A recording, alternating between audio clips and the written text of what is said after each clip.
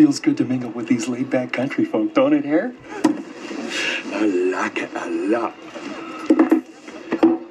Uh oh. What? What's the matter? You spilled the salt. That's what's the matter.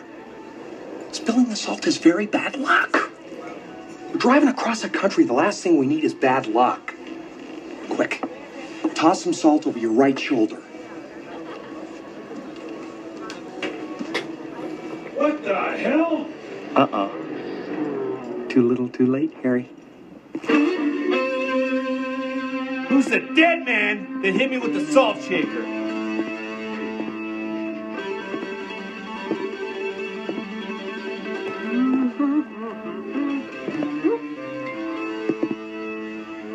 Uh, uh, oh, that, it was a terrible mistake, sir. Please, oh, believe me, I would never do anything to offend a man of your size. Kick his ass, Seabass! Go ahead, Seabass. You gonna eat that?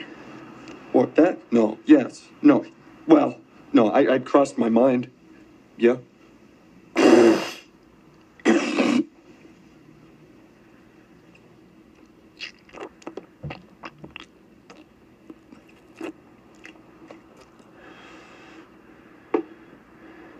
Still want it?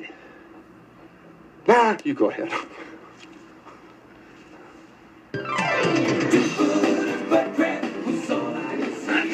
Really wimped out, man. Talking about wimped out. What, what, did you, s- the guy hawked at my burger. Wait a What, I think I just. Yeah. I just had an idea.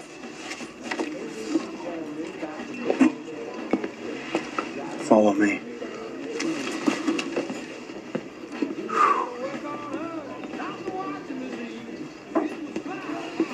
Excuse me, guys. What the hell do you want? Uh, I just want to apologize for that uh, unpleasant scene a little earlier. My friend Harry and I would uh, like to buy you guys a round of beers just to bury the hatchet. Make it four Boilermakers. Whatever you want, sir. I'll have the waitress bring it over immediately.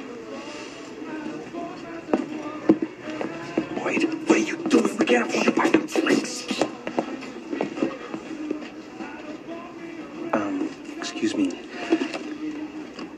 Seabass and the fellas offered to pick up our check. They said just put it on their tab. They're very nice. Seabass said that. Well, if uh, that guy at the table over there is Seabass,